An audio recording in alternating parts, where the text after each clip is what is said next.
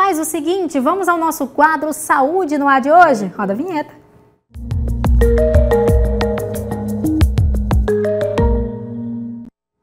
Hoje, 8 de agosto, é comemorado o Dia Mundial de Combate ao Colesterol.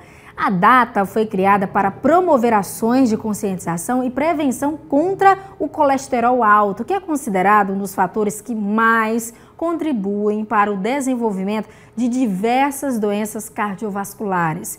E para falar mais sobre esses cuidados, essa atenção especial, estamos recebendo aqui em nosso estúdio o endocrinologista doutor André Gonçalves. Bom dia, seja bem-vindo para a gente falar desse assunto, que é um assunto que bate a porta, não é isso? Um dia muito especial hoje e que serve de lembrança para as pessoas aí de casa.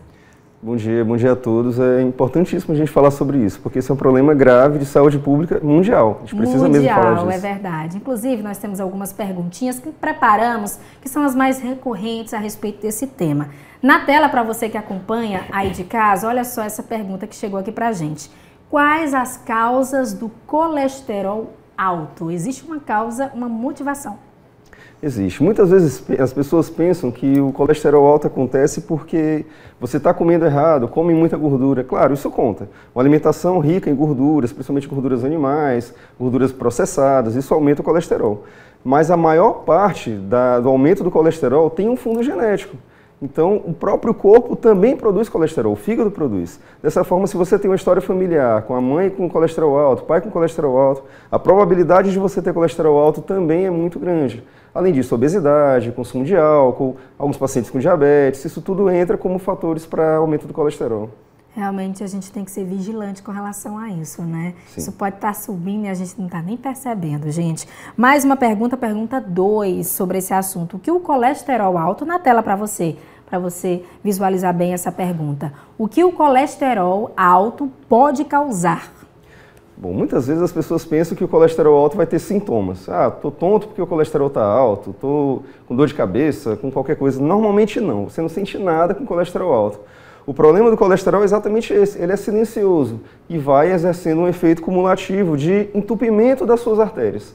Então, o grande problema do colesterol é a longo prazo, é doença cardiovascular, é infarto, é doença cerebrovascular, os acidentes vasculares cerebrais, é doença vascular periférica, que são a questão das amputações, da insuficiência arterial.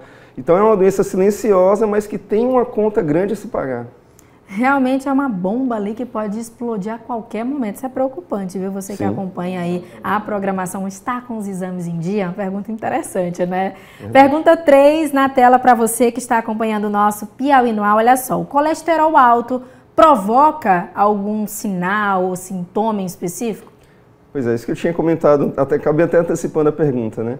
Normalmente não. Agora, você pode ter sintomas mais com aumento de triglicerídeos. Às vezes, um nível alto demais você pode ter sintomas de tontura, mal-estar. O colesterol em si não costuma ter. O problema mesmo é o efeito cumulativo no longo prazo, aumentando o risco cardíaco, como eu já tinha mencionado. Tem também a questão do colesterol baixo também, tem isso? Tem, mas é um outro perfil. O colesterol bom, que é o HDL, quando está muito baixo, aumentaria também o risco cardíaco. Mas o grande problema mesmo é o colesterol ruim, que é o LDL. Certo. Vamos a mais uma pergunta, uma pergunta importante para o nosso telespectador que acompanha aqui a nossa programação. É possível prevenir esse colesterol alto? É uma condição que realmente é inevitável com o passar dos anos? Não tem jeito, será? Hum, tem jeito. Existe um fator de risco, né? Existe a questão familiar. Se você tem uma forte história na família, você tem uma grande chance de ter. Mas se você tem um hábito saudável desde sempre, se você não exagera em bebida alcoólica, se você não toma nenhuma medicação que pode aumentar o colesterol, por exemplo, corticoide, que é muito comum o uso, se você não tem outra doença que aumente o colesterol, como por exemplo o hipotiroidismo, quando está mal controlado pode aumentar o colesterol. Se você toma os cuidados de saúde gerais e se mantém saudável, magro e ativo, a chance é menor. A gente já até iniciou a falar a respeito desse assunto com relação às doenças. Na tela aí, a gente citou algumas, né? Obesidade, mas quais as doenças, aí são muitas as doenças relacionadas aos índices elevados de colesterol? São. Quando a gente fala em tratar colesterol, não é nem o nível de colesterol em si. Quando se trata colesterol, diminui-se o risco dessas outras doenças. Então é basicamente a questão do envelhecimento precoce dos vasos, né, dos vasos sanguíneos. Então entra doença cardiovascular, doença coronariana, entra doença cerebrovascular, doença vascular periférica, é, alguns pacientes mais velhos têm aneurismas de aorta. Isso tudo é relacionado ao aumento dos níveis de colesterol. Realmente é uma grande preocupação. Eu vou pular, já que a gente já está falando de colesterol, já falou de doença, já falou de tudo isso. A gente, inclusive, já passou por essa pergunta, né? Quem são as pessoas mais suscetíveis? Que são essas pessoas que são que têm esse problema hereditário, já está dentro da família. A gente respondeu. Eu vou pular lá para a pergunta 7. Qual o tratamento na tela? Qual o tratamento para o colesterol alto? Já que a gente já trouxe toda essa situação, realmente é uma bomba. Existe um tratamento específico? Existe. Esse tratamento depende de qual é o seu risco. Então, se você pega um garoto de 15 anos com colesterol alto e um paciente de 60 anos que já teve um infarto com o mesmo nível de colesterol, é claro que o tratamento não pode ser igual. O risco do, do garoto é muito menor do que aquele paciente que já infartou.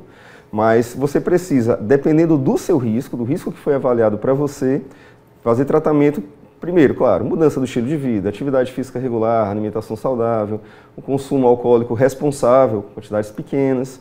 E caso isso não resolva, infelizmente, medicação. Essas medicações, muitas vezes o paciente começa a usar e acha que tomou três meses, resolveu o problema. De forma alguma. Normalmente é uma medicação para uso contínuo. Você tem que pensar esse tipo de medicação para a vida inteira. São, a medicação mais comum para o colesterol são as estatinas. Você já deve ter ouvido falar da simvastatina, rosuvastatina. É, medicações dessa linha, são as melhores. São as melhores, né? Combina também com essa próxima pergunta, que é a pergunta 8. As pessoas que possuem esse colesterol alto, já tem aquele diagnóstico lá agravante, aquela situação toda, já está convivendo com isso, tentando um tratamento devem viver com alguma restrição específica? Não pode fazer isso de forma alguma. Qual seria essa restrição ou isso não existe?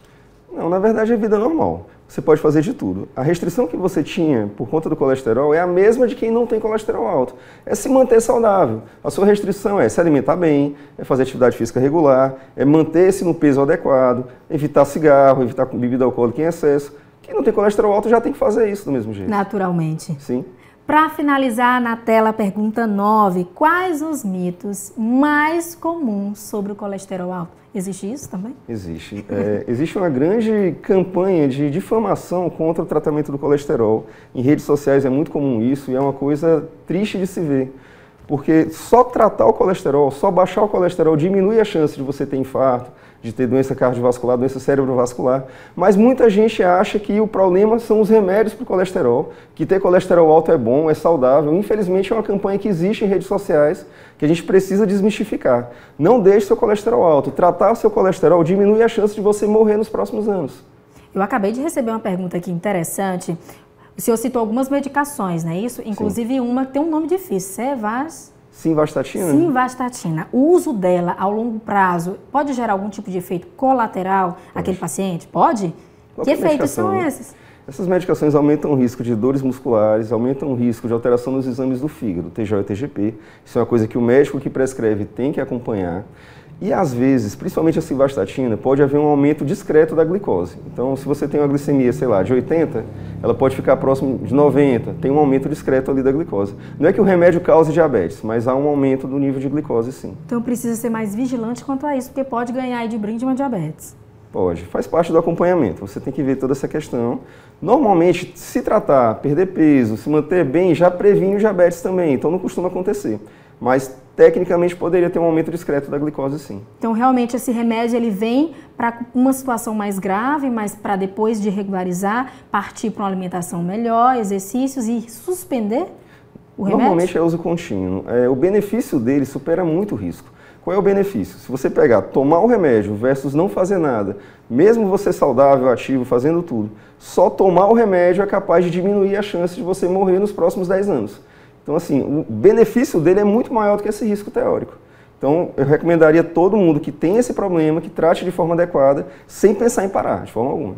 Que bacana, tá aí muitas dúvidas é, respondidas aqui pelo doutor André Gonçalves. Muito obrigada pela sua presença. Todas as quintas-feiras a gente traz o nosso Saúde no Ar, com informações, prestação de serviço. A população precisa estar ligada à saúde, né? A saúde nos move no dia a dia, por que não tirar tantas dúvidas aí do nosso público? Uma consulta grátis aqui no nosso Piauí no Ar, não é isso? Perfeito, estou sempre às ordens. Obrigado. Obrigada novamente. Lembrando que você vai ter acesso a essa entrevista, é o nosso quadro Saúde no Lar, lá nas nossas plataformas, Instagram, YouTube da nossa TV Antena 10. Combinado? É só ir lá após o programa.